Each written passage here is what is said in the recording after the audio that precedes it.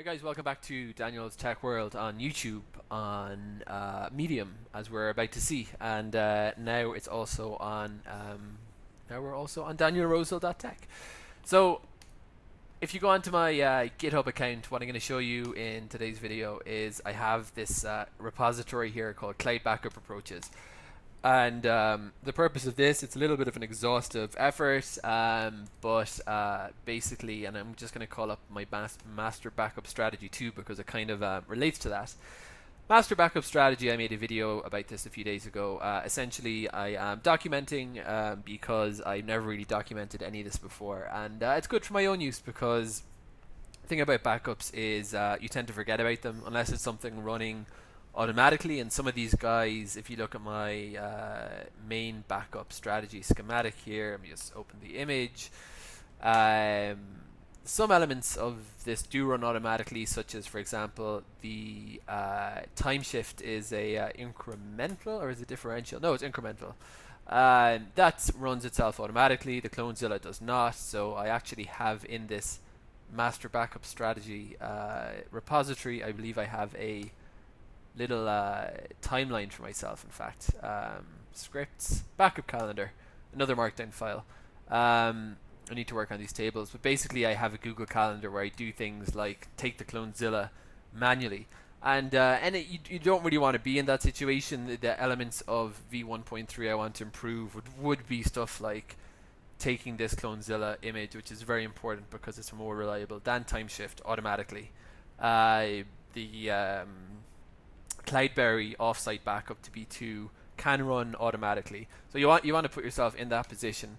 Uh, unfortunately, where this kind of falls down at the moment is uh, all these manual guys. So I'm also into taking cloud backups, and I've distinguished here, as nobody has really uh, done. This is my terminology here about major and minor cloud backups. Uh, you can I can probably think of some better word for that. But what I mean here is you have stuff like your Google Drive and your Dropbox and pCloud. In other words, the big kind of chunks of data, your big repositories of data living in the cloud. And uh, I mean, you could actually put this YouTube video. So as I'm recording, let me just bring over my screen recorder. I'm now creating data. Um, it is, as you can see, um, file size here almost 10 megabytes. And I'm now creating data that I do not want to entrust only to YouTube. Because what happens if YouTube vanishes, you might wonder. And the question to be to be answered here is how can I protect, how can I um, do in a way that is compliant with the 321 principle of backups, which calls for, I thought I had it here, uh, having an additional two backup copies of all pieces of data uh, on two different storage media, uh, one of which is offsite. So for that video file, I will need to to uh, have it on a second cloud repository and I will need to have it on site. And if we take the example of my YouTube video, so this is currently, uh, now it's on my desktop. Uh, it's about to go up to YouTube, which is a cloud. I'm going to delete the file from my desktop once it does, and I will want to be copying it onto two different clouds. So uh, how will that happen? What will happen is that I'll take a Google Takeout uh, sometime over the next six months. I'll include YouTube in that takeout. Um, um, I will push that up to B2 on an AWS EC2 instance. That that'll be cloud to cloud. It's a bit messy. Uh, there are G Suite to S3 programs, but they don't do.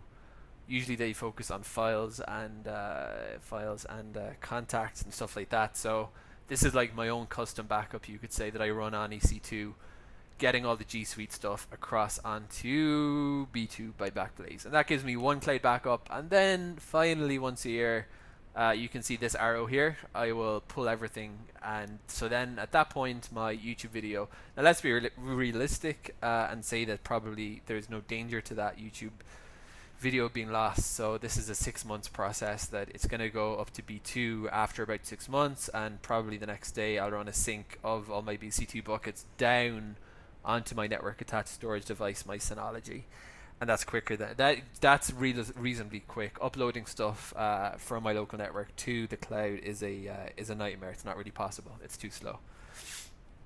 And at that point, my YouTube video will be backed up. Um, so getting back to this is a, this is the point of the cloud backup approach. That's why I introduced it. And unfortunately, for stuff like Medium, which falls into what I call the minor guys, I do this manually. So I've in this other GitHub repository, Cloud Backup Approaches, I have been diligently, uh, as as diligently as possible, documenting all these different services. So I mentioned. Uh, I mentioned Google G Suite here, Google Takeouts, uh, automated export engine, and uh, I'm starting with a small one, which is Medium, and uh, Medium, to the best of my knowledge, um, there's no real way to do this. Um, you know, um, if there was, it's always worth searching. Um, but this wouldn't be particularly common that people would want to be doing this. So I'm not surprised that there isn't something like uh, a, scri- a, script for it. You'll find this is not talking about how to back a Medium. It's just a Medium article about backups. So basically, for for Medium, I've outlined the process here. I'm just going to show you quickly. We'll, we'll, go through this one to demonstrate uh, how both how to do this and uh, and the process. Um, so basically, you go into Medium and you in the settings menu there is a uh, there is an export functionality here. Now, I've to save a bit of time, I've gone through this ahead of time. You click on download uh, zip file, and then you receive a um, you receive an email. Um, I'm just going to drag over this from the other monitor here.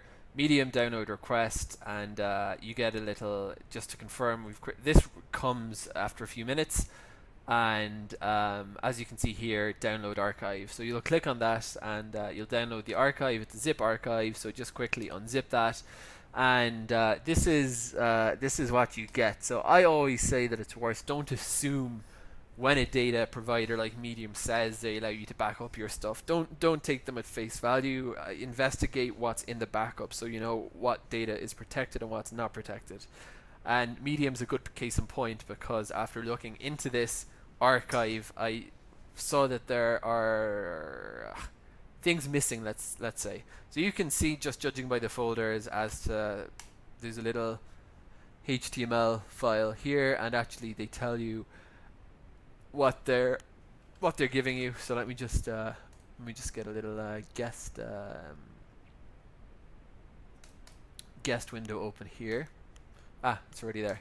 So this is what is um, the README file. Here's your archive. And they tell you what each folder contains. So the block one contains blocked users. I'm not blocking anyone on Medium. Bookmark posts, claps, highlights, uh, interest, your IP connection history, the posts you've written, your profile, blah blah blah. So let's just look. Up, let's just limit ourselves to a couple here. Uh, let us do uh, claps. This is interesting. So this basically, as you can see, is a simple HTML file. Um, now, it's claps you've received and claps you've given. So let me just look at this Linux overview for technical writers.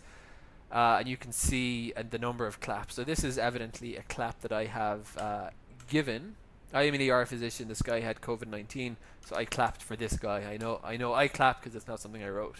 And you can see the article. That's what the link is there. Um, I'm trying to see if there are people who clapped me, and I know I do. I have received claps, so that's the first thing to note about this. Um, yeah, these are all other people's articles. So you're looking at the the backup here is uh, my claps specifically, and that's why it's important because if you look at claps here, they just say post. Or they do say post you've clapped for. So what's missing here is uh, people that have clapped for you. So uh, as I said, uh, if you really think through what you're getting, you'll notice that there are things that are not being backed up. And uh, in such a case, this is one of the disadvantages of software as a service that uh, you know you're entrusting your data to a cloud provider, and what they choose to give you in their backup and what they choose not to give you is kind of up to them essentially. Um, but the, so let's just jump to the key thing here, which is the posts folder. So let us go back a bit and just click on post.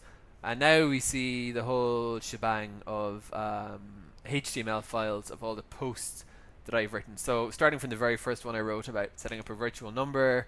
Um, now we can see that we are, it's giving you a HTML file and it has images, right? So you can think that's nice. So you've backed up. I mean, if you're in the business of backing up Medium, your concern is backing up your content, basically the stuff you've written.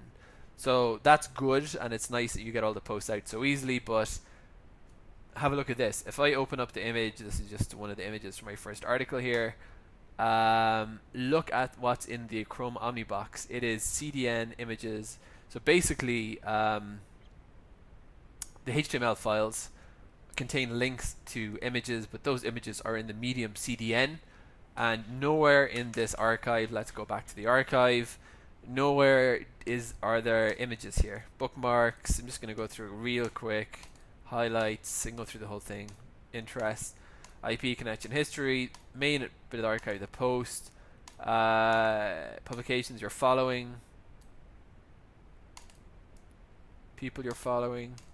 Session history Topics I'm following, users I'm following. Let's just check out this. Yeah, lovely. Has all the individual people that I'm following. Um, I'm not sure if it has followers, um, but um, so basically it does not have the images. So the takeaway from this is that when you create stuff on Medium.com, a post history, uh, you can back up your post, but that backup will not contain the images. So you're not protected against losing your images. Now, of course, you could go through let's go through medium backup, let's go through posts, how to set up a virtual number. You could, uh, you know, go to the various images and save these into your medium backup and say my images, for instance, uh, posts, for instance, and uh, virtual numbers. But this is an awful lot of work, uh, and save that and can you know add them yourself to the backup but that's not really practical. Uh, if you're backing up something with like I have 100 posts now in Medium, if you've got more than that,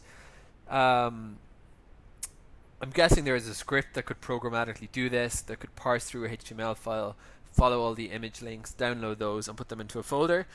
Uh, I'm not currently at the point where I want to do that because what I do is, for this very reason, I literally will uh, copy all my Medium posts um, as PDFs and back up those to my own system so that the images are safe. Uh, that's actually a WordPress, a WordPress blog. Um, so I just copy stuff I heard Medium. That's really important to know that if you are, uh, let's say, a frequent contributor to Medium, Medium is a substantial part of your livelihood. You're in the Medium Partner Program. It's really, really important to know. And this is true, by the way, on the um, 16th of June, uh, tech moves very quickly, and uh, there is a good chance that by the time you're watching this video, they will be including images in their data export. But uh, just important to note that at the present time, uh, if you are backing up stuff from Medium, um, that you're not uh, you're not getting the images.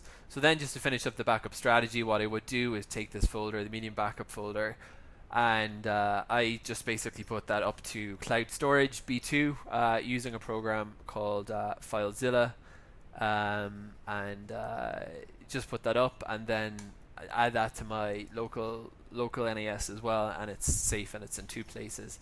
And that basically gives me the confidence that I need to know that everything, if I'm contributing a lot of good content to Medium, working very hard on those articles, uh, I want to make sure that everything is uh, is backed up essentially. So thank you guys for watching. Um, any questions or comments or queries or anything of that nature, my personal website is here, danielrosehill.co.il, and you can reach me through that contact form. Uh, thanks for watching.